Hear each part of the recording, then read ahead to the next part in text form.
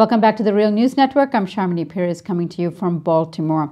We're discussing nuclear development uh, of Iran and Iran's nuclear needs. And we've been having a conversation with Mehdi Sarram.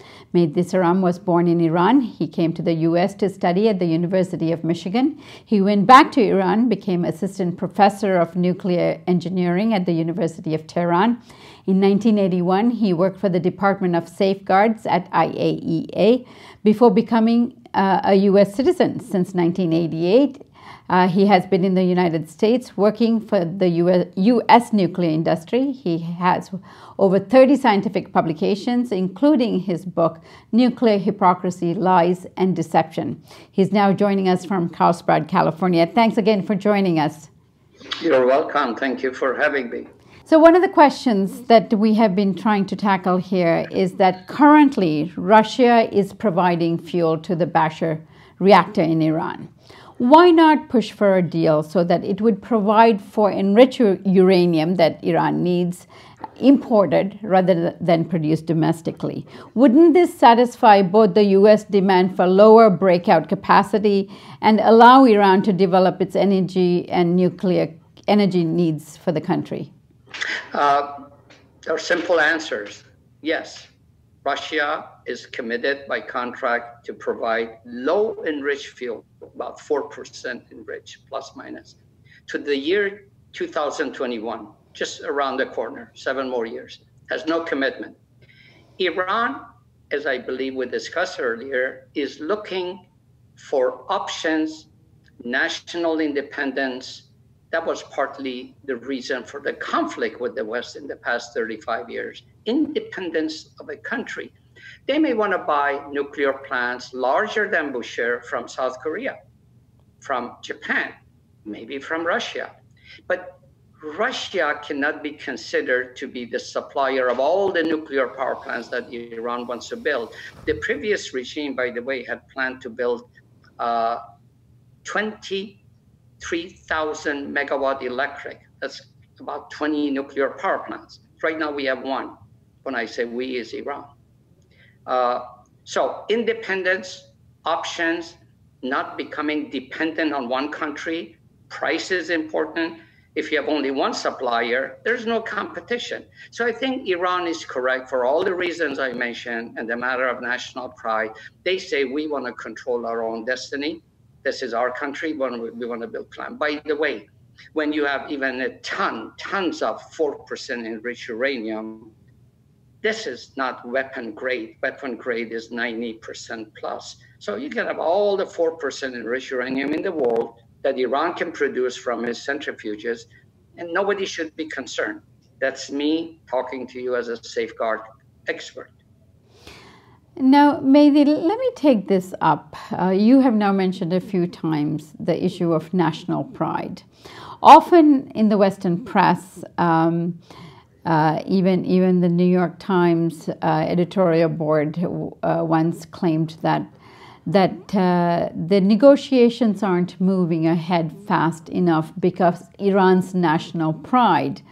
Um, now, this is referred to often. What do you mean by it, and what do they mean by it at the New York Times? Uh, yeah, it could be different. New York Times is American journalist, and I'm an Iranian American, so I have the benefit of both cultures.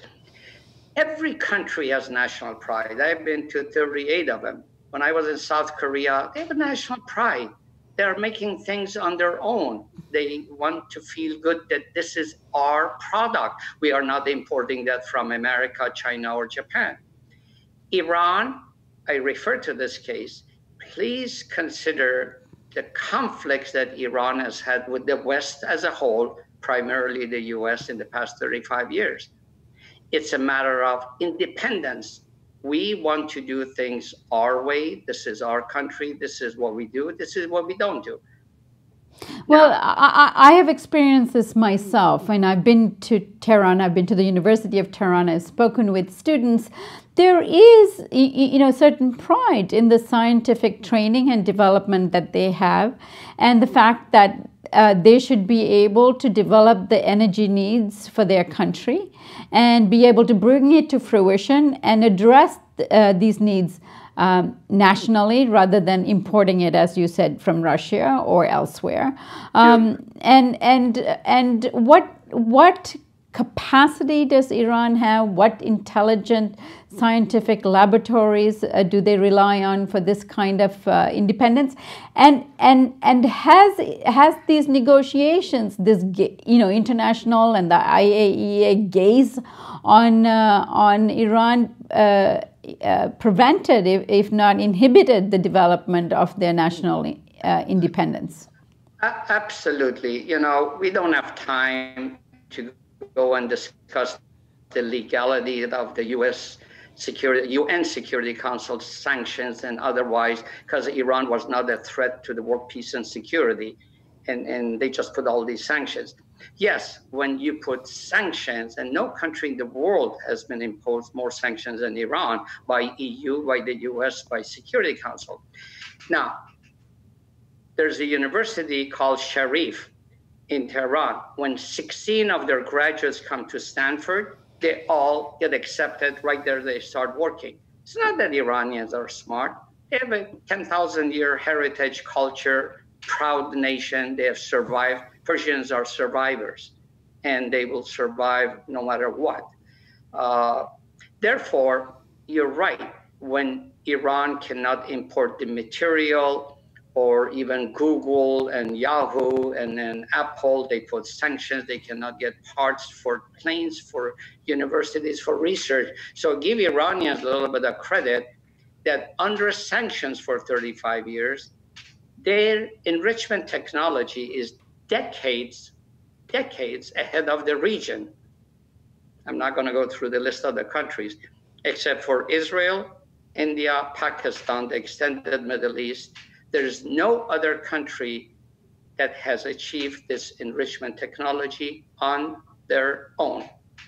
So, if you ask me, are they going to give up the option to have enrichment technology in Iran? The answer is no, they're not going to give up they may give up somewhere else. I can't speak for the government of Iran, but knowing how they think, they don't want to depend on one country called Russia. They will continue with enrichment. They will justify how much they need for two, five future nuclear power plants. And it's that simple. Right. It's much bigger than the science of it all. yes. Thank you so much for joining us. You're welcome. It was a pleasure uh, having this talk with you. Thank you. You're most welcome, and thank you for joining us on the Real News Network.